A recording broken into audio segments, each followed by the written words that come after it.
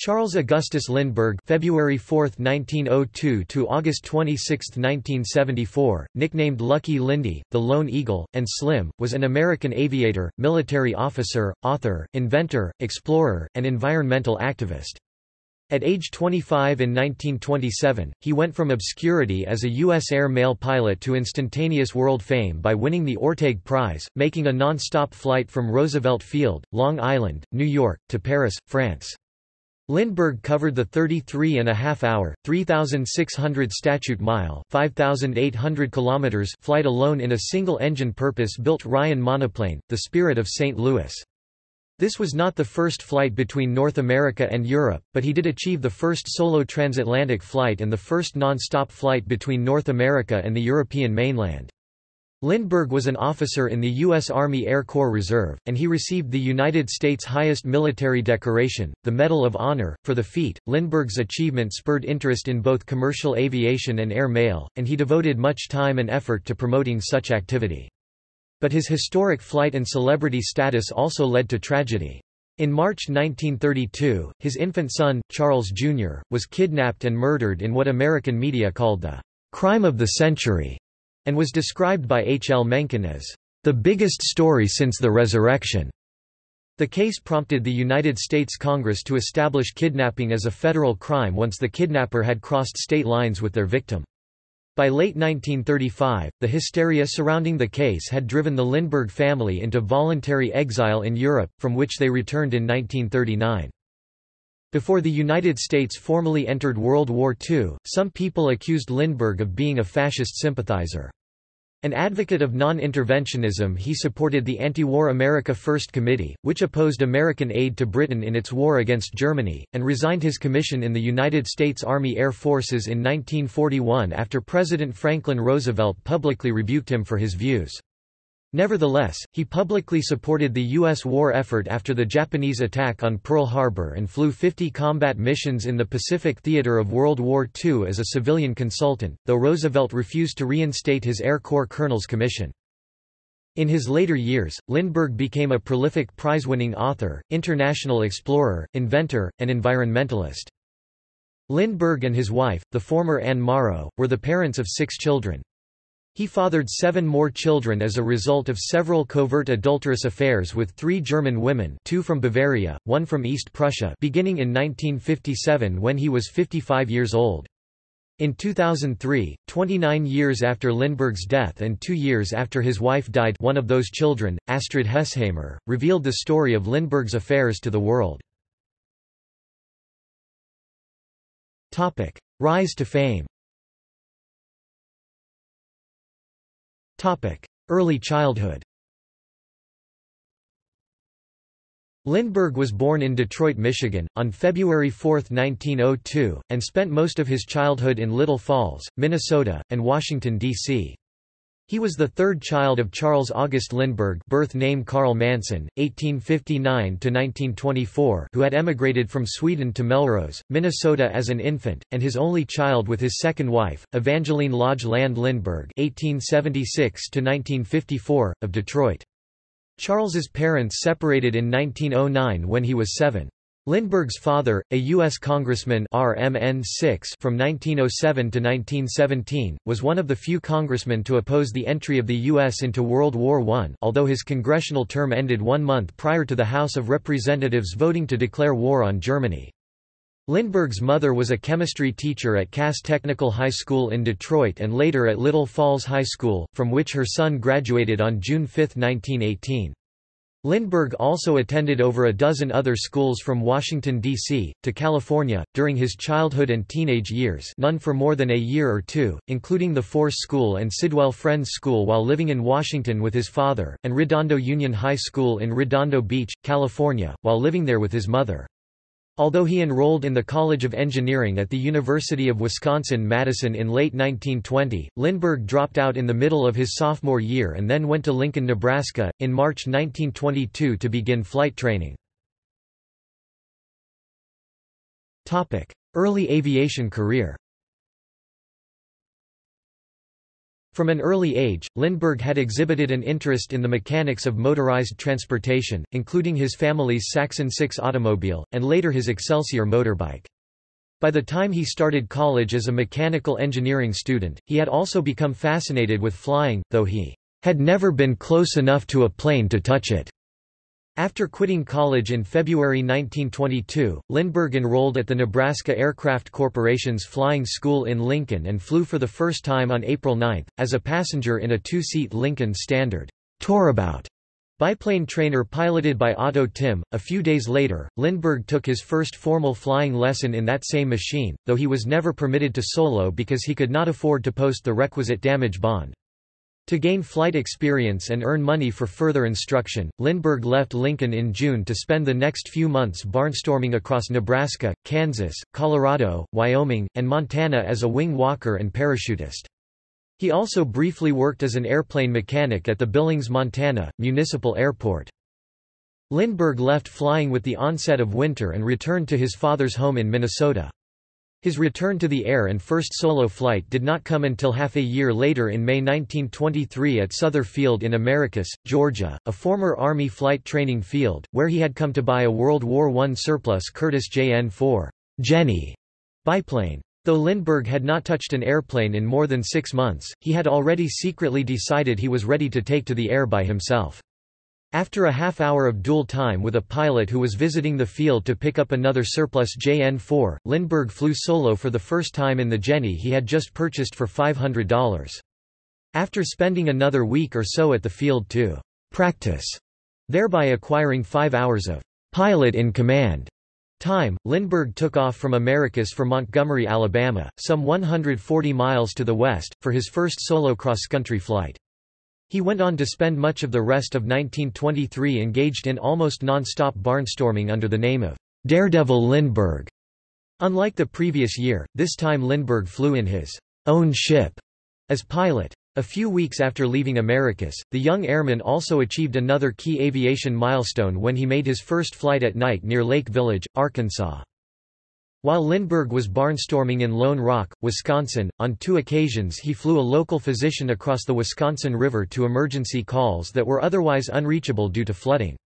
He broke his propeller several times while landing, and on June 3, 1923 he was grounded for a week when he ran into a ditch in Glencoe, Minnesota while flying his father—then running for the U.S. Senate—to a campaign stop.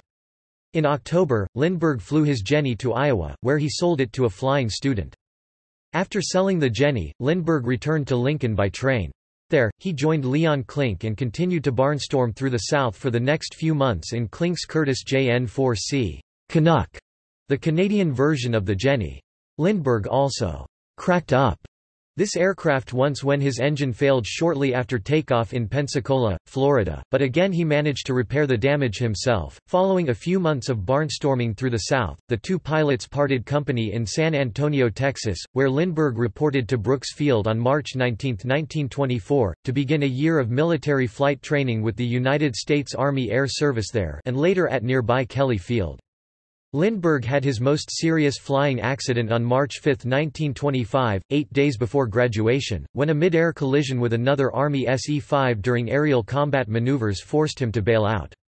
Only 18 of the 104 cadets who started flight training a year earlier remained when Lindbergh graduated first overall in his class in March 1925, thereby earning his Army pilot's wings and a commission as a second lieutenant in the Air Service Reserve Corps. Lindbergh later said that this year was critical to his development as both a focused, goal-oriented individual and as an aviator.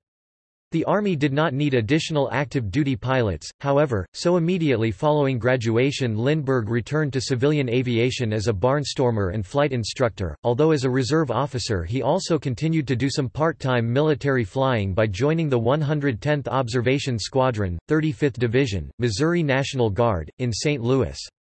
He was soon promoted to first lieutenant, and to captain in July 1926. Air Mail Pilot In October 1925, Lindbergh was hired by the Robertson Aircraft Corporation at the Lambert St. Louis Flying Field in Anglum, Mo where he had been working as a flight instructor to first lay out and then serve as chief pilot for the newly designated 278-mile Contract Air Mail Route No. 2 CAM 2 to provide service between St. Louis and Chicago Maywood Field with two intermediate stops in Springfield and Peoria, Illinois.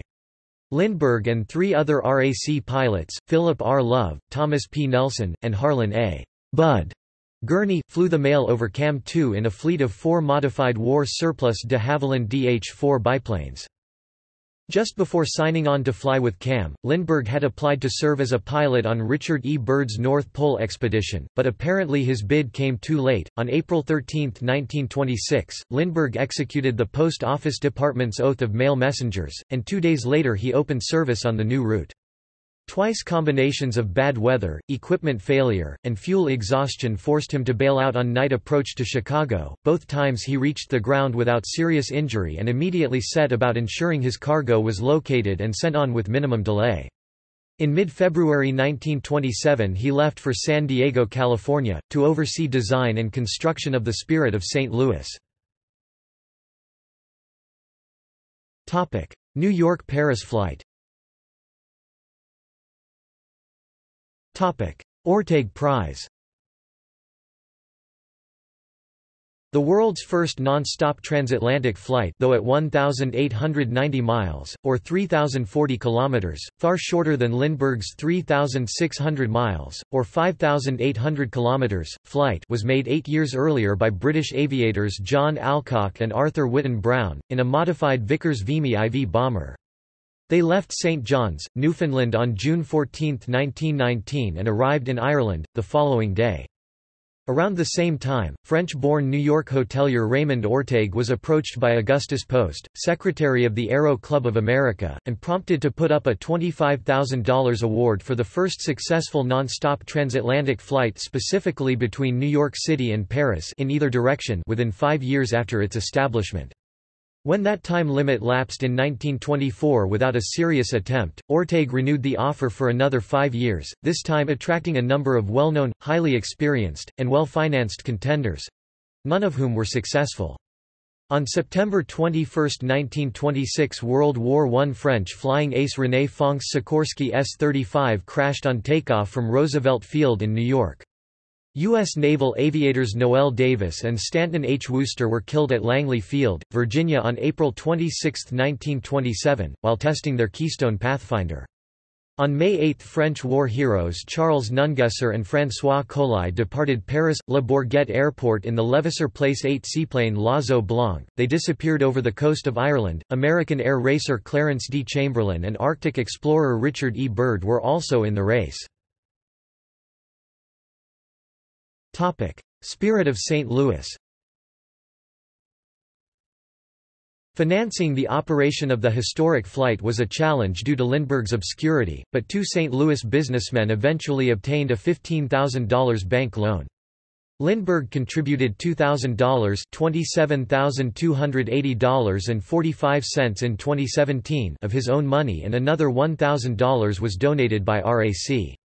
The total of $18,000 was far less than was available to Lindbergh's rivals. The group tried to buy an off the peg single or multi-engine monoplane from Wright Aeronautical, then Travel Air, and finally the newly formed Columbia Aircraft Corporation, but all insisted on selecting the pilot as a condition of sale. Finally the much smaller Ryan Aircraft Company of San Diego agreed to design and build a custom monoplane for $10,580, and on February 25 a deal was formally closed. Dubbed the Spirit of St. Louis, the fabric-covered, single-seat, single-engine, Ryan NYP high-wing monoplane cab registration, NX211 was designed jointly by Lindbergh and Ryan's chief engineer Donald A. Hall. The Spirit flew for the first time just two months later, and after a series of test flights Lindbergh took off from San Diego on May 10. He went first to St. Louis, then on to Roosevelt Field on New York's Long Island. Flight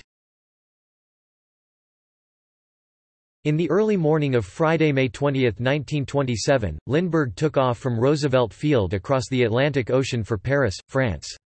His monoplane was loaded with 450 U.S. gallons 1,704 liters of fuel that was strained repeatedly to avoid fuel line blockage.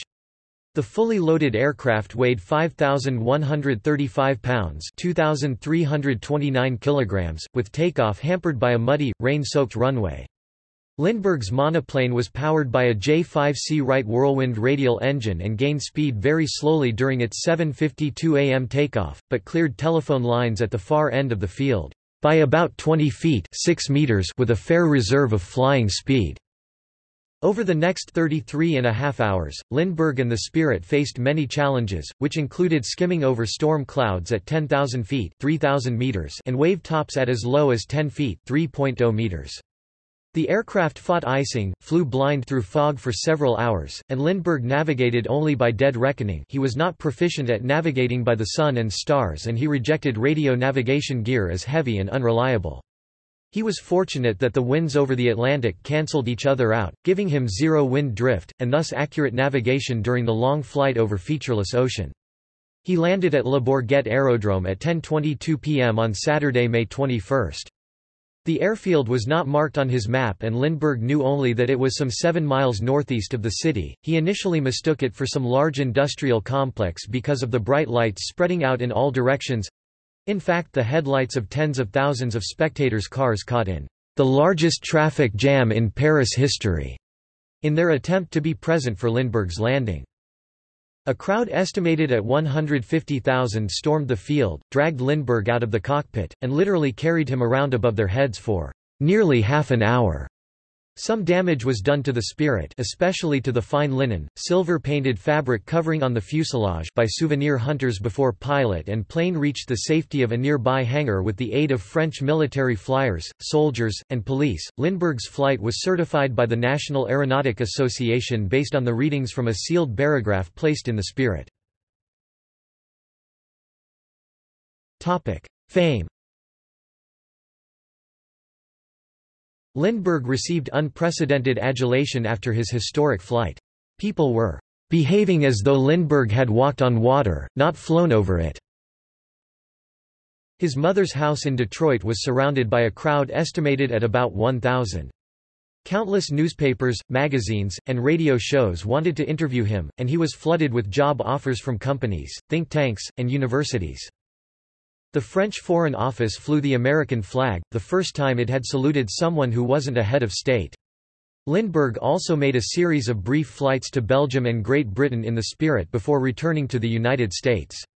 Gaston Doumergue, the President of France, bestowed the French Légion d'honneur on Lindbergh, and on his arrival back in the United States aboard the U.S. Navy cruiser USS Memphis CL-13 on June 11, 1927, a fleet of warships and multiple flights of military aircraft escorted him up the Potomac River to the Washington Navy Yard, where President Calvin Coolidge awarded him the Distinguished Flying Cross. The U.S. Post Office Department issued a 10-cent air mail stamp Scott C-10 depicting the Spirit and a map of the flight. Lindbergh flew from Washington, D.C. to New York City on June 13, arriving in Lower Manhattan. He traveled up the Canyon of Heroes to City Hall, where he was received by Mayor Jimmy Walker. A ticker tape parade followed to Central Park Mall, where he was honored at another ceremony hosted by New York Governor Al Smith and attended by a crowd of 200,000. Some four million persons saw Lindbergh that day. That evening, Lindbergh was accompanied by his mother and Mayor Walker when he was the guest of honor at a 500-guest banquet and dance held at Clarence Mackay's Long Island estate, Harbor Hill. The following night, Lindbergh was honored with a grand banquet at the Hotel Commodore given by the Mayor's Committee on Receptions of the City of New York and attended by some 3,700 people. He was officially awarded the check for the prize on June 16. On July 18, 1927, Lindbergh was promoted to the rank of colonel in the Air Corps of the Officers Reserve Corps of the U.S. Army. On December 14, 1927, a special act of Congress awarded Lindbergh the Medal of Honor, despite the fact that it was almost always awarded for heroism in combat. It was presented to Lindbergh by President Coolidge at the White House on March 21. Other non-combat awards of the Medal of Honor were made to naval aviators Richard E. Byrd and Floyd Bennett, as well as Arctic explorer Adolphus W. Greely. Lindbergh was honored as the first Time magazine, Man of the Year, when he appeared on that magazine's cover at age 25 January 2, 1928, he remains the youngest man of the year ever. The winner of the 1930 Best Woman Aviator of the Year award, Elinor Smith Sullivan, said that before Lindbergh's flight, People seemed to think we aviators were from outer space or something. But after Charles Lindbergh's flight, we could do no wrong. It's hard to describe the impact Lindbergh had on people. Even the first walk on the moon doesn't come close. The twenties was such an innocent time, and people were still so religious. I think they felt like this man was sent by God to do this. And it changed aviation forever because all of a sudden the Wall Streeters were banging on doors looking for airplanes to invest in. We'd been standing on our heads trying to get them to notice us but after Lindbergh, suddenly everyone wanted to fly, and there weren't enough planes to carry them. Autobiography and tours Barely two months after Lindbergh arrived in Paris, G. P. Putnam's Sons published his 318-page autobiography, We, which was the first of 15 books he eventually wrote or to which he made significant contributions. The company was run by aviation enthusiast George P. Putnam. The Dustjacket notes said that Lindbergh wanted to share the story of his life and his transatlantic flight together with his views on the future of aviation, and that we referred to the spiritual partnership that had developed between himself and his airplane during the dark hours of his flight. But Putnam's had selected the title without Lindbergh's knowledge, and he complained, We actually referred to himself and his St. Louis financial backers, though his frequent unconscious use of the phrase seemed to suggest otherwise. We was soon translated into most major languages and sold more than 650,000 copies in the first year, earning Lindbergh more than $250,000. Its success was considerably aided by Lindbergh's three-month, 22,350-mile (35,970 kilometers) tour of the United States in the Spirit on behalf of the Daniel Guggenheim Fund for the Promotion of Aeronautics. Between July 20 and October 23, 1927 Lindbergh visited 82 cities in all 48 states, delivered 147 speeches, rode 1,290 miles 2,080 kilometers in parades, was seen by more than 30 million Americans, one quarter of the nation's population. Lindbergh then toured 16 Latin America countries between December 13, 1927 and February 8, 1928. Dubbed the Goodwill Tour, it included stops in Mexico where he also met his future wife, Anne, the daughter of U.S. Ambassador Dwight Morrow, Guatemala, British Honduras, Salvador, Honduras, Nicaragua, Costa Rica, Panama, the Canal Zone, Colombia, Venezuela, St. Thomas, Puerto Rico, the Dominican Republic, Haiti, and Cuba, covering 9,390 miles 15,110 kilometers in just over 116 hours of flight time. A year and two days after it had made its first flight, Lindbergh flew the Spirit from St. Louis to Washington, D.C., where it has been on public display at the Smithsonian Institution ever since. Over the previous 367 days, Lindbergh and the Spirit had logged 489 hours 28 minutes of flight time together. A Lindbergh boom in aviation had begun. The volume of mail moving by air increased 50% within six months, applications for pilots' licenses tripled, and the number of planes quadrupled. President Herbert Hoover appointed Lindbergh to the National Advisory Committee for Aeronautics. Lindbergh and Pan American World Airways head Juan Trippe were interested in developing a Great Circle Air route across Alaska and Siberia to China and Japan. In the summer of 1931, with Trippe's support, Lindbergh and his wife flew from Long Island to Nome, Alaska and from there to Siberia, Japan and China. The route was not available for commercial service until after World War II, as pre-war aircraft lacked the range to fly Alaska to Japan non-stop, and the United States had not officially recognized the Soviet government. In China they volunteered to help in disaster investigation and relief efforts for the Central China flood of 1931. This was later documented in Anne's book North to the Orient. Topic air mail promotion Lindbergh used his fame to promote air mail service. For example, at the request of the owner of West Indian Aerial Express and later Pan Am's chief pilot, in February 1928 he carried some 3,000 pieces of special souvenir mail between Santo Domingo, RD, Port-au-Prince, Haiti, and Havana, Cuba. The last three stops he and the Spirit made during their 7,800 miles 12,600 kilometers Goodwill Tour of Latin America and the Caribbean between December 13, 1927 and February 8, 1928. Two weeks after his Latin American tour, Lindbergh piloted a series of special flights over his old CAM-2 route on February 20 and February 21. Tens of thousands of self-addressed souvenir covers were sent in from all over the world, so at each stop Lindbergh switched to another of the three planes he and his fellow CAM-2 pilots had used, so it could be said that each cover had been flown by him. The covers were then backstamped and returned to their senders as promotion of the air mail service. In 1929 to 1931, Lindbergh carried much smaller numbers of souvenir covers on the first flights over routes in Latin America and the Caribbean, which he had earlier laid out as a consultant to Pan American Airways to be then flown under contract to the Post Office as Foreign Air Mail routes 5 and 6. Topic personal life Topic American family In his autobiography, Lindbergh derided pilots he met as womanizing barnstormers. He also criticized Army cadets for their facile approach to relationships. He wrote that the ideal romance was stable and long-term, with a woman with keen intellect, good health, and strong genes. His experience in breeding animals on our farm having taught him the importance of good heredity. Anne Morrow Lindbergh (1906–2001) was the daughter of Dwight Morrow, who, as partner at J.P. Morgan and Co., had acted as financial advisor to Lindbergh. He was also the U.S. ambassador to Mexico in 1927. Invited by Morrow on a goodwill tour to Mexico, Lindbergh met Anne in Mexico City in December 1927. The couple was married on May 27, 1929 in Englewood, New Jersey. They had six children, Charles Augustus Lindbergh Jr. (1930–1932), John Morrow Lindbergh (b. 1932), Land Morrow Lindbergh (b. 1937), who studied anthropology at Stanford University and married Susan Miller in San Diego, Anne Lindbergh (1940–1993), Scott Lindbergh (b. 1942), and Reeve Lindbergh (b. 1945), a writer. Lindbergh taught Anne how to fly and she accompanied and assisted him in much of his exploring and charting of air routes. Lindbergh saw his children for only a few months a year. He kept track of each child's infractions including such things as gum chewing and insisted that Anne track every penny of household expenses in account books. Topic kidnapping of Charles Lindbergh, Jr.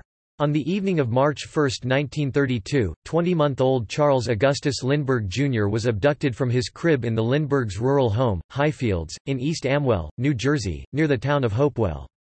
A man who claimed to be the kidnapper, picked up a cash ransom of $50,000 on April 2, part of which was in gold certificates, which were soon to be withdrawn from circulation and would therefore attract attention. The bill's serial numbers were also recorded. On May 12, the child's remains were found in woods not far from the Lindbergh home.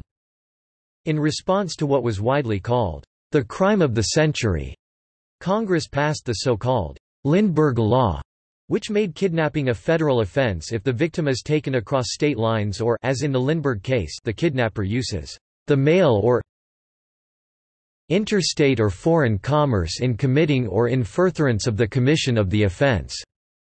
Such as in demanding ransom, Richard Hauptmann, a 34-year-old German immigrant carpenter, was arrested near his home in the Bronx, New York, on September 19, 1934, after paying for gasoline with one of the ransom bills. $13,760 of the ransom money and other evidence was found in his home. Hauptmann went on trial for kidnapping, murder and extortion on January 2, 1935 in a circus-like atmosphere in Flemington, New Jersey. He was convicted on February 13, sentenced to death, and electrocuted at Trenton State Prison on April 3, 1936.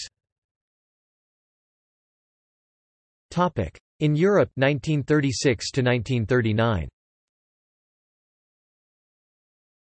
An intensely private man, Lindbergh became exasperated by the unrelenting public attention in the wake of the kidnapping and Hauptmann trial, and was concerned for the safety of his three-year-old second son John. Consequently, in the pre-dawn hours of Sunday, December 22, 1935, the family sailed furtively from Manhattan for Liverpool, the only three passengers aboard the United States Lines freighter SS American Importer. They traveled under assumed names and with diplomatic passports issued through the personal intervention of Treasury Secretary Ogden L. Mills. News of the Lindberghs' flight to Europe did not become public until a full day later, and even after the identity of their ship became known radiograms addressed to Lindbergh on it were returned as addressee not aboard. They arrived in Liverpool on December 31, then departed for South Wales to stay with relatives. The family eventually rented Long Barn in Sevenoaks Weald, Kent. In 1938, the family moved to Ile Illiec, a small four-acre island Lindbergh purchased off the Breton coast of France. Except for a brief visit to the U.S. in December 1937, the family including a third son, Land, born May 1937 in London lived and travelled extensively in Europe before returning to the U.S. in April 1939, settling in a rented seaside estate at Lloyd Neck, Long Island, New York. The return was prompted by a personal request by General H. H. Hap Arnold, the chief of the United States Army Air Corps in which Lindbergh was a reserve colonel, for him to accept a temporary return to active duty to help evaluate the Air Corps' readiness for war. His duties included evaluating new aircraft types in development, recruitment procedures, and finding a site for a new Air Force Research Institute and other potential air bases. Assigned a Curtiss P-36 fighter, he toured various facilities, reporting back to Wright Field. Lindbergh's brief four-month tour was also his first period of active military service since his graduation from the Army's flight school 14 years earlier in 1925. Scientific activities Lindbergh wrote to the Longines Watch Company and described a watch that would make navigation easier for pilots. First produced in 1931, it is still produced today. In 1929, Lindbergh became interested in the work of rocket pioneer Robert H. Goddard. By helping Goddard secure an endowment from Daniel Guggenheim in 1930, Lindbergh allowed Goddard to expand his research and development. Throughout his life, Lindbergh remained a key advocate of Goddard's work. In 1930, Lindbergh's sister-in-law developed a fatal heart condition. Lindbergh began to wonder why hearts could not be repaired with surgery. Starting in early 1931 at the Rockefeller Institute and continuing during his time living in France, Lindbergh studied the perfusion of organs outside the body with Nobel Prize-winning French surgeon Dr. Alexis Carrel. Although perfused organs were said to have survived surprisingly well, all showed progressive degenerative changes within a few days. Lindbergh's invention, a glass perfusion pump, named the Model T pump, is credited with making future heart surgeries possible. In this early stage, the pump was far from perfected. In 1938, Lindbergh and Carrel described an artificial heart in the book in which they summarized their work, The Culture of Organs, but it was decades before one was built. In later years, Lindbergh's pump was further developed by others, eventually leading to the construction of the first heart-lung machine. Pre-war activities and politics Overseas visits At the request of the United States military, Lindbergh traveled to Germany several times between 1936 and 1938 to evaluate German aviation. Hanna Reitsch demonstrated the Focke-Wulf FW-61 helicopter to Lindbergh in 1937, and he was the first American to examine Germany's newest bomber, the Junkers Ju-88, and Germany's frontline fighter aircraft, the Messerschmitt Bf-109, which he was allowed to pilot. He said of the Bf-109 that he knew of no other pursuit plane which combines simplicity of construction with such excellent performance characteristics. There is disagreement on how accurate Lindbergh's reports were, but Cole asserts that the consensus among British and American officials was that they were slightly exaggerated but badly needed. Lindbergh also undertook a survey of aviation in the Soviet Union in 1938. In 1938, Hugh Wilson, the American ambassador to Germany, hosted a dinner for Lindbergh with Germany's air chief, Hermann Göring and three central figures in German aviation, Ernst Heinkel, Adolf Baeumker, and Willy Messerschmitt. At this dinner Göring presented Lindbergh with the Commander Cross of the Order of the German Eagle. Lindbergh's acceptance proved controversial after Kristallnacht, an anti-Jewish pogrom in Germany a few weeks later. Lindbergh declined to return the medal, later writing, "...it seems to me that the returning of decorations, which were given in times of peace and as a gesture of friendship, can have no constructive effect. If I were to return the German medal, it seems to me that it would be an unnecessary insult." Even if war develops between us, I can see no gain in indulging in a spitting contest before that war begins." Non-interventionism and America First involvement At the urging of U.S. Ambassador Joseph Kennedy, Lindbergh wrote a secret memo to the British warning that a military response by Britain and France to Hitler's violation of the Munich Agreement would be disastrous. He claimed that France was militarily weak and Britain over-reliant on its navy. He urgently recommended that they strengthen their air power to force Hitler to redirect his aggression against Asiatic communism. In a controversial 1939 Reader's Digest article he wrote, our civilization depends on peace among Western nations and therefore on united strength, for peace is a virgin who dare not show her face without strength, her father, for protection." Lindbergh deplored the rivalry between Germany and Britain, but favored a war between Germany and Russia. Following Hitler's invasion of Czechoslovakia and Poland, Lindbergh decried suggestions that the United States should send aid to countries under threat, writing, I do not believe that repealing the arms embargo would assist democracy in Europe." And, if we repeal the arms embargo with the idea of assisting one of the warring sides to overcome the other, then why mislead ourselves by talk of neutrality?" He equated assistance with war profiteering.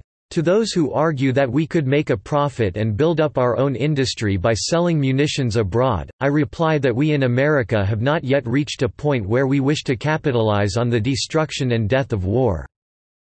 In late 1940 Lindbergh became spokesman of the non-interventionist America First Committee, soon speaking to overflow crowds at Madison Square Garden and Chicago's Soldier Field, with millions listening by radio.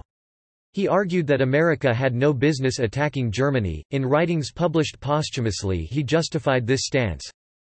I was deeply concerned that the potentially gigantic power of America, guided by uninformed and impractical idealism, might crusade into Europe to destroy Hitler without realizing that Hitler's destruction would lay Europe open to the rape, loot and barbarism of Soviet Russia's forces, causing possibly the fatal wounding of Western civilization. In his 1941 testimony before the House Committee on Foreign Affairs opposing the Lend-Lease Bill, Lindbergh proposed that the United States negotiate a neutrality pact with Germany. President Franklin Roosevelt publicly decried Lindbergh's views as those of a defeatist and appeaser, comparing him to U.S. Rep. Clement L. Vallandigham, who had led the Copperhead movement that had opposed the American Civil War. Lindbergh promptly resigned his commission as a colonel in the U.S. Army Air Corps, writing that he saw no honorable alternative.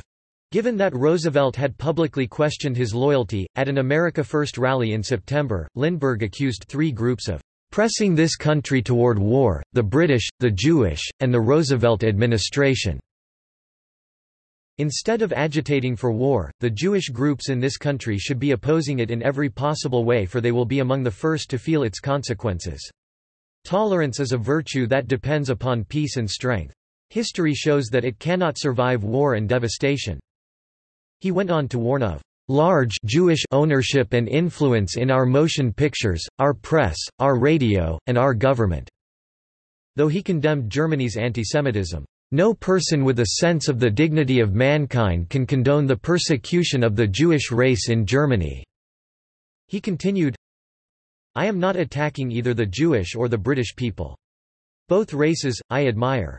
But I am saying that the leaders of both the British and the Jewish races, for reasons which are as understandable from their viewpoint as they are inadvisable from ours, for reasons which are not American, wish to involve us in the war. We cannot blame them for looking out for what they believe to be their own interests, but we also must look out for ours. We cannot allow the natural passions and prejudices of other peoples to lead our country to destruction. Responding to criticism of his speech, Lindbergh denied he was anti-Semitic but did not back away from his positions. Anne Lindbergh felt that the speech might tarnish Lindbergh's reputation unjustly. She wrote in her diary, I have the greatest faith in Lindbergh as a person, in his integrity, his courage, and his essential goodness, fairness, and kindness—his nobility really. How then explain my profound feeling of grief about what he is doing? If what he said is the truth and I am inclined to think it is, why was it wrong to state it? He was naming the groups that were pro-war. No one minds his naming the British or the administration. But to name Jew is un-American—even if it is done without hate or even criticism. Why? Interventionists created pamphlets pointing out his efforts were praised in Nazi Germany and included quotations such as, "...racial strength is vital, politics, a luxury."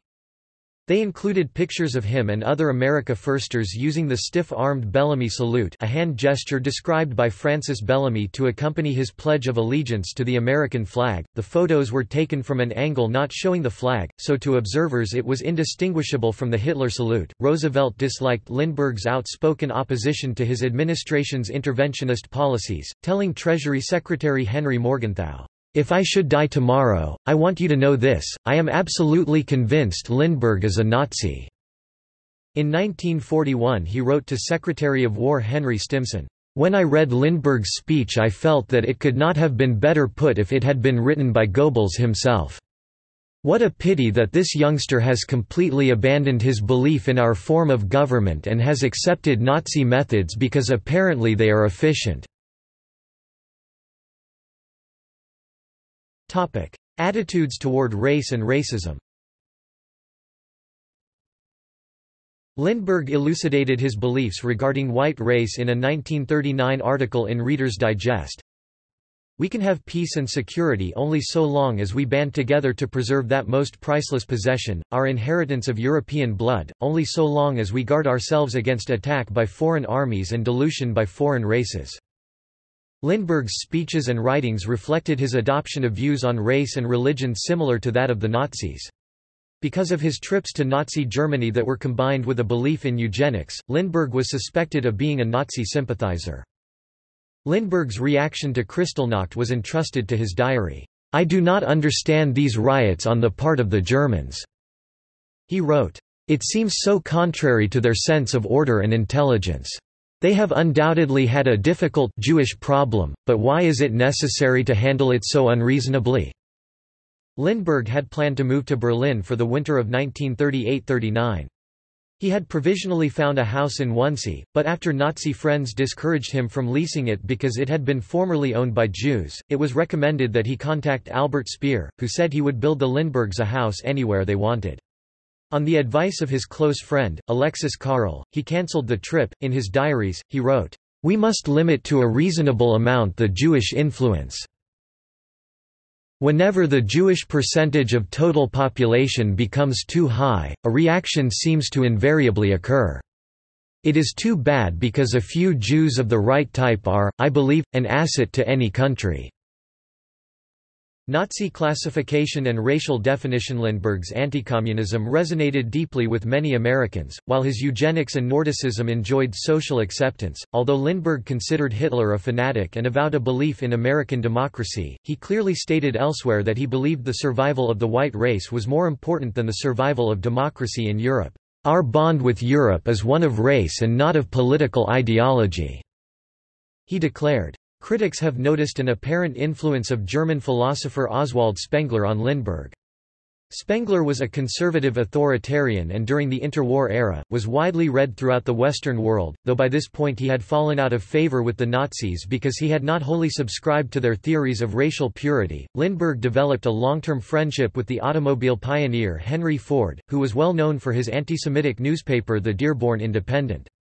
In a famous comment about Lindbergh to Detroit's former FBI field office special agent in charge in July 1940, Ford said, "'When Charles comes out here, we only talk about the Jews." Lindbergh considered Russia a semi-Asiatic country compared to Germany, and he believed communism was an ideology that would destroy the West's racial strength and replace everyone of European descent with a pressing sea of yellow, black, and brown. He stated that if he had to choose, he would rather see America allied with Nazi Germany than Soviet Russia.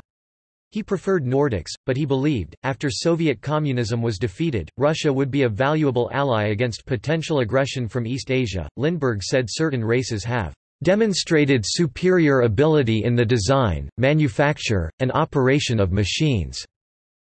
He further said, the growth of our Western civilization has been closely related to this superiority. Lindbergh admired The German genius for science and organization, the English genius for government and commerce, the French genius for living and the understanding of life." He believed, "...in America they can be blended to form the greatest genius of all." His message was popular throughout many northern communities and especially well received in the Midwest, while the American South was Anglophilic and supported a pro-British foreign policy. The South was the most pro-British and interventionist part of the country. In his book The American Axis, Holocaust researcher and investigative journalist Max Wallace agreed with Franklin Roosevelt's assessment that Lindbergh was pro-Nazi. However, he found that the Roosevelt administration's accusations of dual loyalty or treason were unsubstantiated. Wallace considered Lindbergh to be a well-intentioned but bigoted and misguided Nazi sympathizer whose career as the leader of the isolationist movement had a destructive impact on Jewish people. Lindbergh's Pulitzer Prize-winning biographer, A. Scott Berg, contended that Lindbergh was not so much a supporter of the Nazi regime as someone so stubborn in his convictions and relatively inexperienced in political maneuvering that he easily allowed rivals to portray him as one. Lindbergh's receipt of the German medal was approved without objection by the American embassy. The war had not yet begun in Europe. The award did not cause controversy until the war began and Lindbergh returned to the United States in 1939 to spread his message of non-intervention. Berg contended Lindbergh's views were commonplace in the United States in the pre-World War II era. Lindbergh's support for the America First Committee was representative of the sentiments of a number of American people, yet Berg also noted, as late as April 1939—after Germany overtook Czechoslovakia—Lindbergh was willing to make excuses for Hitler. Much as I disapprove of many things Hitler had done, he wrote in his diary on April 2, 1939, I believe she Germany has pursued the only consistent policy in Europe in recent years. I cannot support her broken promises, but she has only moved a little faster than other nations in breaking promises. The question of right and wrong is one thing by law and another thing by history. Berg also explained that leading up to the war, in Lindbergh's mind, the great battle would be between the Soviet Union and Germany, not fascism and democracy. Wallace noted that it was difficult to find social scientists among Lindbergh's contemporaries in the 1930s who found validity in racial explanations for human behavior. Wallace went on to observe, "...throughout his life, eugenics would remain one of Lindbergh's enduring passions." Lindbergh always preached military strength and alertness. He believed that a strong defensive war machine would make America an impenetrable fortress and defend the Western Hemisphere from an attack by foreign powers, and that this was the U.S. military's sole purpose. Berg revealed that while the attack on Pearl Harbor came as a shock to Lindbergh, he did predict that America's wavering policy in the Philippines would invite a bloody war there, and, in one speech, he warned, We should either fortify these islands adequately, or get out of them entirely.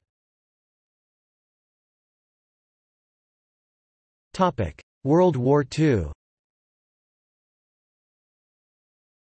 After the Japanese attack on Pearl Harbor, Lindbergh sought to be recommissioned in the USAAF. The Secretary of War, Henry L. Stimson, declined the request on instructions from the White House. Unable to take on an active military role, Lindbergh approached a number of aviation companies and offered his services as a consultant.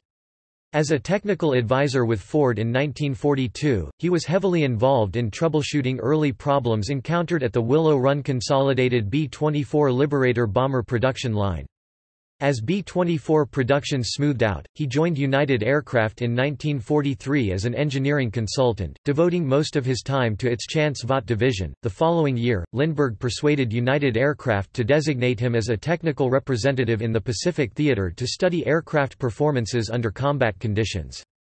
Among other things, he showed Marine pilots how to take off safely with a bomb load double the Vought F-4U Corsair fighter bomber's rated capacity.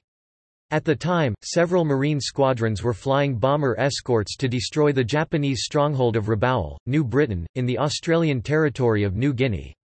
On May 21, 1944, Lindbergh flew his first combat mission, a strafing run with VMF 222 near the Japanese garrison of Rabaul. He also flew with VMF 216, from the Marine Air Base at Torokina, Bougainville. Lindbergh was escorted on one of these missions by Lieutenant Robert E. Lefty McDonough, who refused to fly with Lindbergh again, as he did not want to be known as the guy who killed Lindbergh. In his six months in the Pacific in 1944, Lindbergh took part in fighter-bomber raids on Japanese positions, flying 50 combat missions again as a civilian. His innovations in the use of Lockheed P-38 Lightning fighters impressed a supportive Gen. Douglas MacArthur. Lindbergh introduced engine-leaning techniques to P-38 pilots, greatly improving fuel consumption at cruise speeds, enabling the long-range fighter aircraft to fly longer-range missions.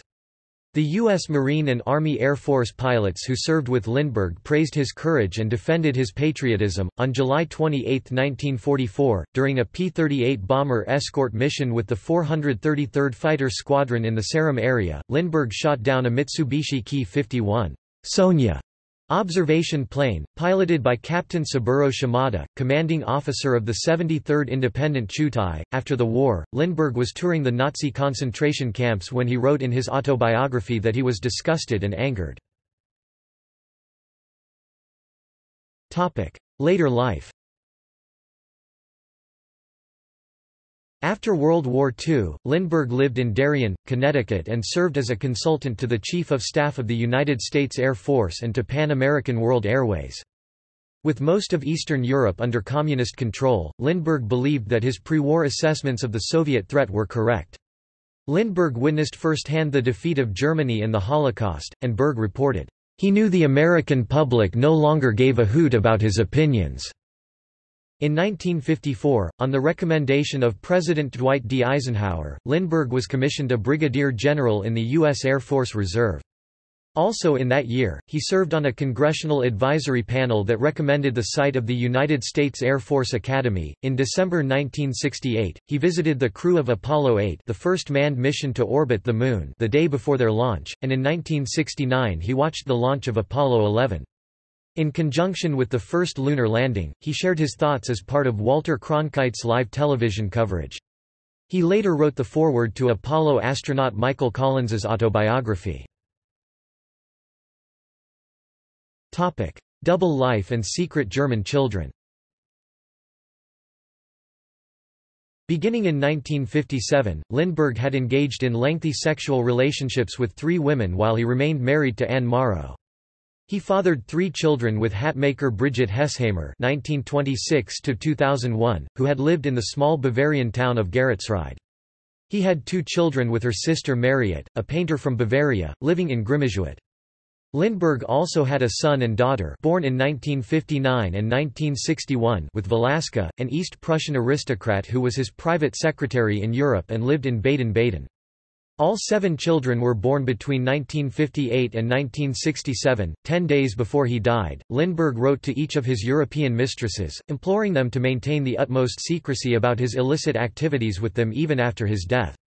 The three women none of whom ever married all managed to keep their affairs secret even from their children, who during his lifetime and for almost a decade after his death did not know the true identity of their father, whom they had only known by the alias Carew Kent and they had only seen him when he briefly visited them once or twice per year.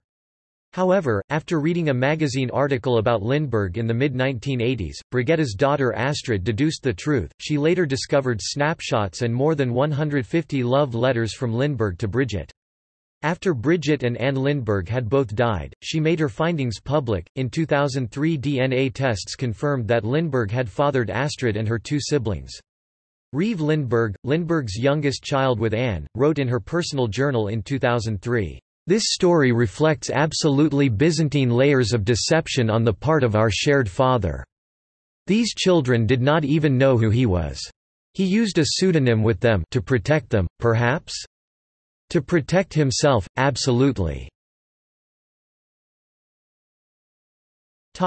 environmental causes In later life Lindbergh was heavily involved in conservation movements, and was deeply concerned about the negative impacts of new technologies on the natural world and native peoples, in particular on Hawaii. He campaigned to protect endangered species such as the humpback whale, blue whale, Philippine eagle, the tamaraw a rare dwarf Philippine buffalo, and was instrumental in establishing protections for the Tasaday people, and various African tribes such as the Maasai. Alongside Laurance S. Rockefeller, Lindbergh helped establish the Haleakala National Park in Hawaii. Lindbergh's speeches and writings in later life emphasized technology and nature, and his lifelong belief that All the achievements of mankind have value only to the extent that they preserve and improve the quality of life. Death Lindbergh spent his last years on the Hawaiian island of Maui, where he died of lymphoma on August 26, 1974, at age 72. He was buried on the grounds of the Palapala Ho'omau Church in Kipahulu, Maui. His epitaph, on a simple stone following the words, "'Charles A. Lindbergh born Michigan 1902 died Maui 1974' quotes Psalms 139-9. If I take the wings of the morning, and dwell in the uttermost parts of the sea Cal.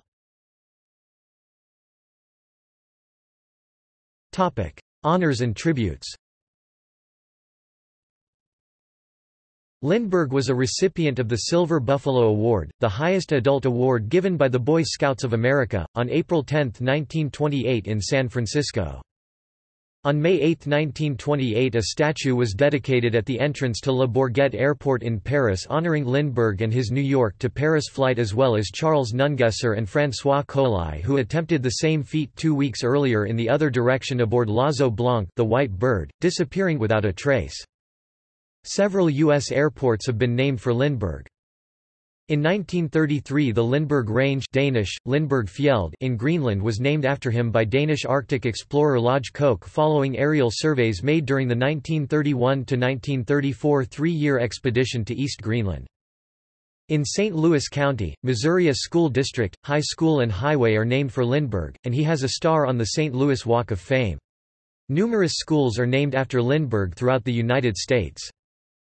In 1937 a transatlantic race was proposed to commemorate the 10th anniversary of Lindbergh's flight to Paris, though it was eventually modified to take a different course of similar length see 1937 Istres Damascus-Paris air race. He was inducted into the National Aviation Hall of Fame in 1967. The Royal Air Force Museum in England minted a medal with his image as part of a 50-medal set called The History of Man in Flight in 1972. The original Lindbergh residence is maintained as a museum, and is listed as a National Historic Landmark. In February 2002, the Medical University of South Carolina at Charleston, within the celebrations for the Lindbergh 100th birthday established the Lindbergh Carrel Prize, given to major contributors to "...development of perfusion and bioreactor technologies for organ preservation and growth." M. E. DeBakey and nine other scientists received the prize, a bronze statuette expressly created for the event by the Italian artist C. Zoli and named Elizabeth, after Elizabeth Morrow, sister of Lindbergh's wife Anne Morrow, who died as a result of heart disease. Lindbergh was disappointed that contemporary medical technology could not provide an artificial heart pump that would allow for heart surgery on Elizabeth and that led to the first contact between Carrel and Lindbergh. Topic: Awards and decorations. Lindbergh received many awards, medals and decorations, most of which were later donated to the Missouri Historical Society and are on display at the Jefferson Memorial, now part of the Missouri History Museum in Forest Park in St. Louis, Missouri. United States Government Medal of Honor 1927 Distinguished Flying Cross 1927 Langley Gold Medal from the Smithsonian Institution 1927 Congressional Gold Medal 1928 Other United States Harmon Trophy 1927 Hubbard Medal 1927 Honorary Scout Boy Scouts of America 1927 Silver Buffalo Award Boy Scouts of America 1928 Wright Brothers Memorial Trophy 1949 Daniel Guggenheim Medal 1953 Pulitzer Prize 1954 non-US Awards Knight of the Order of Leopold Belgium 1927 Air Force Cross United Kingdom 1927 Fédération Aéronautique Internationale FAI Gold Medal 1927 Commander of the Legion of Honor France 1931 Order of the German Eagle with Star Nazi Germany, October 19, 1938 ICAO Edward Warner Award 1975 Topic. Medal of Honor. Rank and organization Captain US Army Air Corps Reserve. Place and date from New York City to Paris France May 20 to 21 1927 Entered service at, Little Falls, Min. Born, February 4, 1902 Detroit, Mich. G.O. No. 5, W.D., 1928, Act of Congress December 14, 1927. Citation For displaying heroic courage and skill as a navigator, at the risk of his life, by his non-stop flight in his airplane, the Spirit of St. Louis, from New York City to Paris, France, 20–21 May 1927, by which Capt. Lindbergh not only achieved the greatest individual triumph of any American citizen but demonstrated that travel across the ocean by aircraft was possible. Other recognition 1991 Scandinavian American Hall of Fame inductee 1965 International Aerospace Hall of Fame inductee. Ranked number 3 on Flying Magazine's 51 Heroes of Aviation. Member of the Independent Order of Odd Fellows. Topic. Books. In addition to We and the Spirit of St. Louis, Lindbergh wrote prolifically over the years on other topics, including science, technology, nationalism, war, materialism, and values. Included among those writings were five other books, The Culture of Organs with Dr. Alexis Carrel 1938, Of Flight and Life 1948, The Wartime Journals of Charles A. Lindbergh 1970, Boyhood on the Upper Mississippi 1972, and his unfinished autobiography of Values posthumous, 1978. In popular culture Literature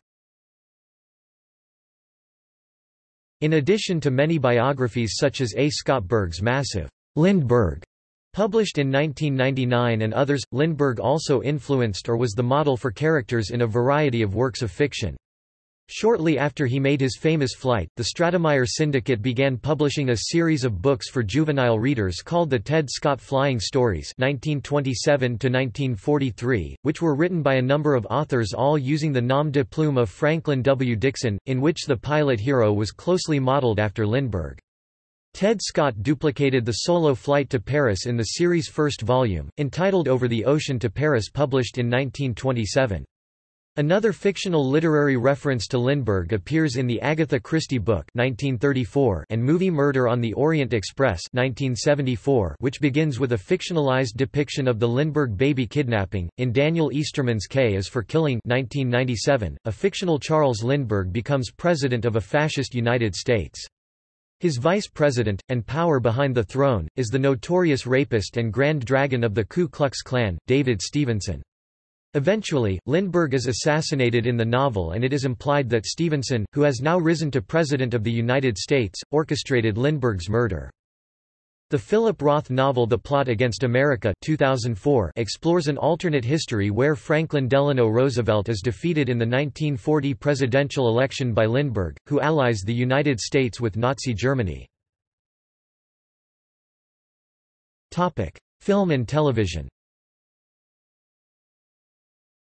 The 1942 MGM picture Keeper of the Flame Katharine Hepburn, Spencer Tracy features Hepburn as the widow of Robert V. Forrest, a Lindbergh-like national hero. In the motion picture The Spirit of St. Louis, directed by Billy Wilder and released in 1957, Lindbergh was played by James Stewart, an admirer of Lindbergh and himself an aviator who had flown bombing missions in World War II. Stewart's performance as a man half his age was not well received, and the film was a commercial failure. Lindbergh was portrayed by actor Jonathan Frakes in episode 10 of the television series Voyagers, An Arrow Pointing East. Lindbergh was portrayed by actor Jesse Luken in season 1 episode 14 of the television series Timeless. Lindbergh has been the subject of numerous documentary films, including Charles A. Lindbergh 1927, a UK documentary by DeForest Phonofilm, 40,000 Miles with Lindbergh 1928 featuring Lindbergh himself, and The American Experience Lindbergh, The Shocking, Turbulent Life of America's Lone Eagle 1988. Music Within days of the flight, dozens of Tin Pan Alley publishers rushed a variety of popular songs into print celebrating Lindbergh and the spirit of St. Louis including, "'Lindbergh the Eagle of the USA' by Howard Johnson and Al Sherman, and "'Lucky Lindy' by L. Wolfe Gilbert and Abel Baer. In the two-year period following Lindbergh's flight, the U.S. Copyright Office recorded 300 applications for Lindbergh songs. Tony Randall revived, "'Lucky Lindy' In an album of Jazz Age and Depression-era songs that he recorded entitled Vo Vo de O Do 1967, in 1929, Bertolt Brecht wrote a musical called Der Lindbergh Flug the Lindbergh Flight with music by Kurt Weill and Paul Hindemith. Because of Lindbergh's apparent Nazi sympathies, in 1950 Brecht removed all direct references to Lindbergh and renamed the piece Der Ozeanflug the Ocean Flight. In 2016, as part of his series of scores based around historical events, Adam Young released a score based around the spirit of St. Louis's flight. Cartoons During World War II, Lindbergh was a frequent target of Dr. Seuss's first political cartoons, published in the New York magazine PM, in which Geisel emphasized Lindbergh's antisemitism and Nazi sympathies. Postage stamps